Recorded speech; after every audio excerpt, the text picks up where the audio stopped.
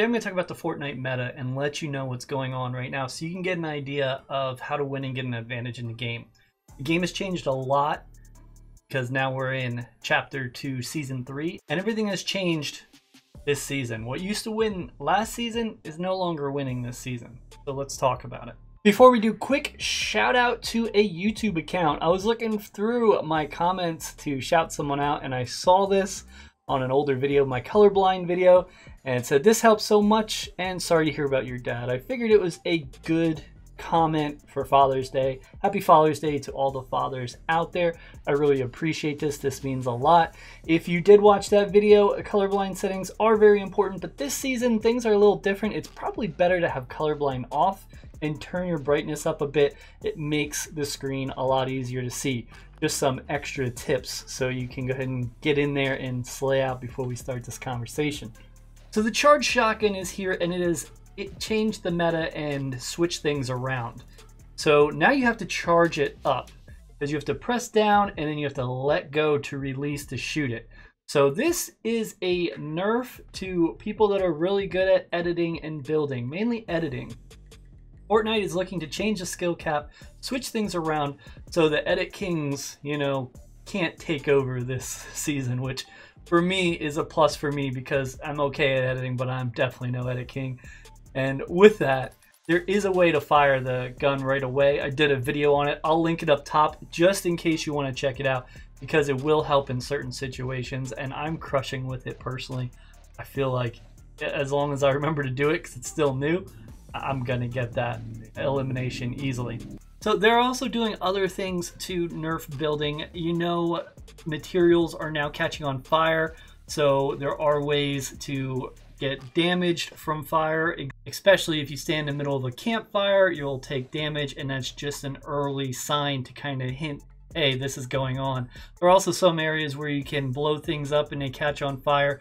If you add building, the builds catch on fire. This is because a new thing is going to be coming out called the Firefly, which is kind of like a Molotov cocktail where it's going to hit your building and it's going to catch on fire. Again, a nerf to people that are building and crushing it building. They want to be more aim based and focus more on that. They also wanted to increase the TTL, which is time to live, which I, I kind of like this part. Basically, it means you can't get lasered as bad.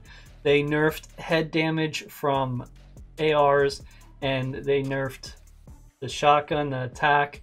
They nerfed everything. They changed burst to two shots instead of three. That's for controller nerf. They might not even have noticed that, but that's for aim assist nerf.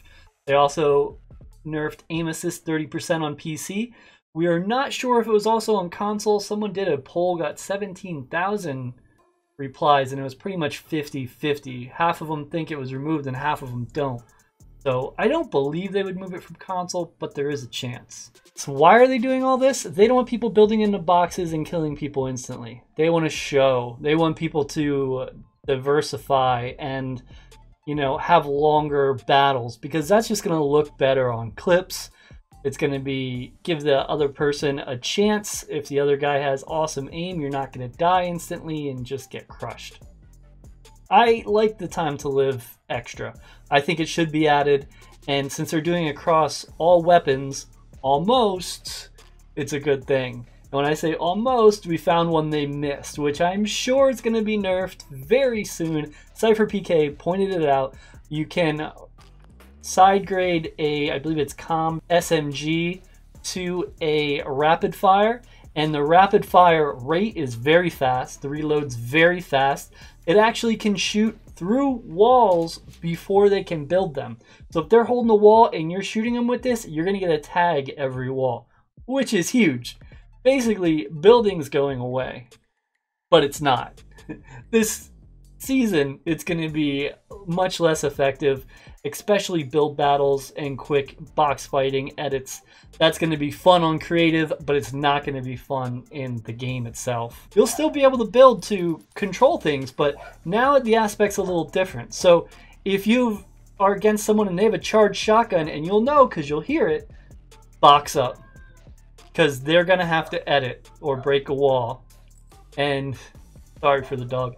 And if they break that wall, they're going to uncharge their shotgun and you're going to get a shot on them. If you have a charged shotgun and someone's in a one by one, best thing to do is wait for them to edit. In the beginning of this season, they're going to edit out and try to get a hit on you because they might not be fresh with the meta yet and you'll be able to crack them real hard. In the future, they're going to know better, go out the opposite wall, and probably build up or around and try to get a better angle and opportunity. So that's the new meta this season, and I wanted to let you know early so you can take advantage of it before other people figure it out. Also, you can see Sharky in the background. I just fed him, so if you're seeing him go crazy over there, he's just excited because it's it's dinner time for him. And I hope you enjoyed the video. If you did, you know what to do. Smack that like and here are some other videos I would love it if you checked out. And I'll see you over there.